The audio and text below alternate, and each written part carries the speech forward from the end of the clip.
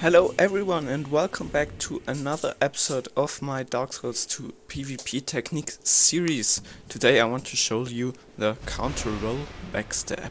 It's not a very popular technique in case of doing that on purpose, but most people know how to do this and that it's very effective, so I want to show you that thing but it's just that little thing that can um, kinda decide whether or not you lose or win a fight with a very heavy or very slow weapon.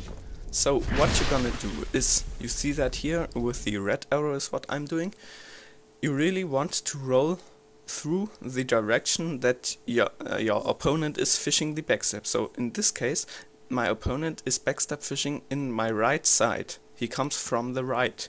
So I roll right um, through his left arm, uh, through his left side, so that I'm behind him.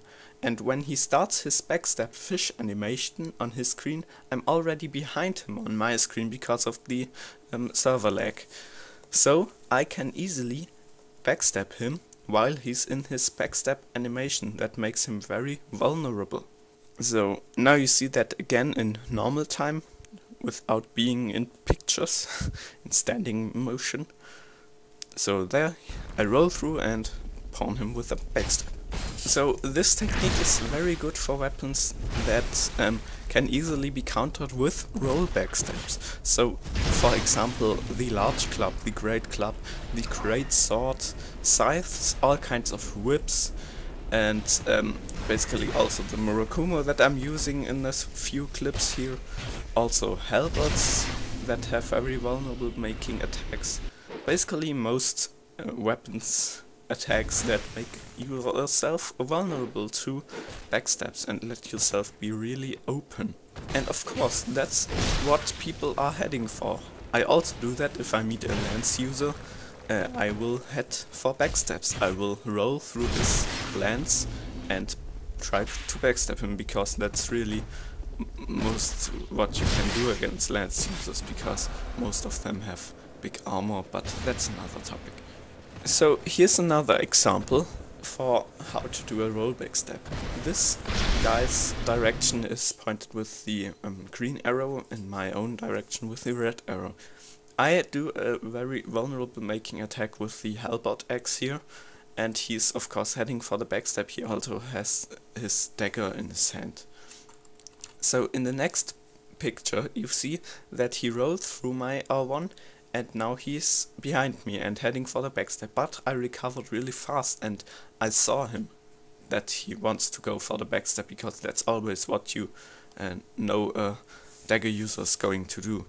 So I roll in the direction of the red arrow through him. Because he's coming from my left side, I roll to um, through his left uh, arm. So here in the next picture you see this counter movement of mine.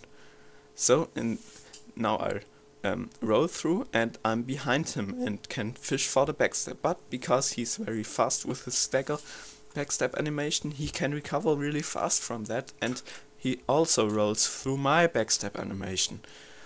But there's the thing, um, he wrote wrong because I was, like you see in this picture, I sta stood right behind him and he wrote uh, kinda orthogonal, uh, horizontal and to my direction, so not directly into me. So that he needs to correct his movement and a bit walk to my back. That's enough time for me to recover from my failed backstab animation and roll through him. I also do this wrong because I rolled through the wrong side of his. I didn't roll directly into his arm, so that I'm uh, that's the short way to do it. I rolled the long way around like you see here. I'm not really in his back, but because he's silly and he does R1, um, I can get the backstab and do the epic MLG backstab, yay!